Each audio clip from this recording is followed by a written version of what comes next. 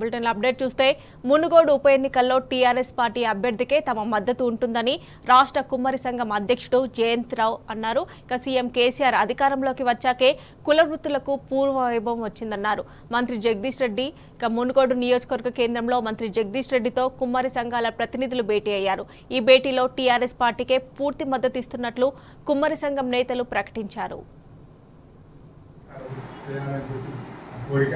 Door to door తిరిగే బాధ్యత ఓట్లు వేయించే బాధ్యత కూడా మాది. మీ యొక్క సహకారం అయితే కావాలి.